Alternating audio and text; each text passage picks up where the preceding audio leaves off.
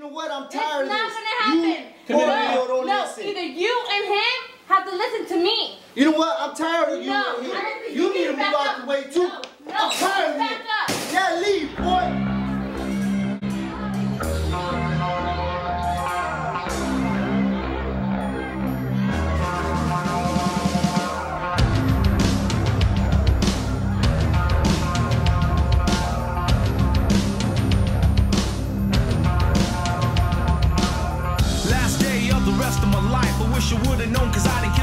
Goodbye. I didn't tell her that I loved her, how much I cared. I thank my pops for all the talks and all the wisdom he shared. Unaware, I just did what I always do.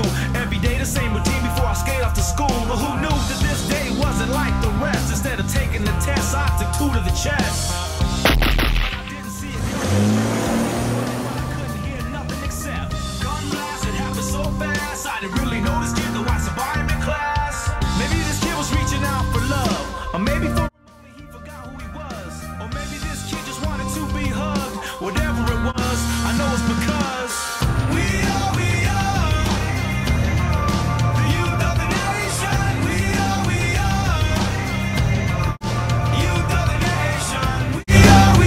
Well, we don't really get no drug education. They don't really teach us that. Probably once a year, out of like a week out of the year or something.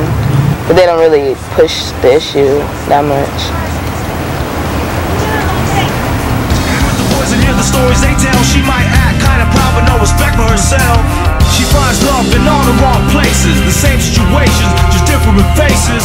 Change up her pace since her daddy left her. Too bad he never told her she deserved much. Off the street, lessons for life.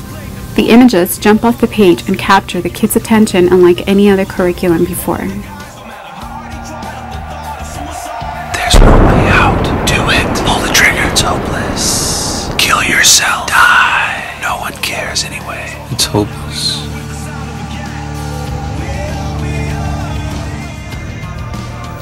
Let's look at it this way. This curriculum really has two things that the outcomes are really obvious. First, the impact, and second, the savings to taxpayers in the long run. If you look at the curriculum, it's a $3,500 investment. If we could deter 10 students that go through out of the 100 students, we see it as a big savings because we know in certain zip codes that there's a high rate of students that are going to be incarcerated. So of those 10 students that we deter, the average prison time would be three years. At a $42,000 per year cost on taxpayers times three years would be $126,000. Times those 10 students that we deterred, that'd be $1,260,000. It's simple. Save money for taxpayers, have impact on lives. 1.2 million, $3,500. Invest now.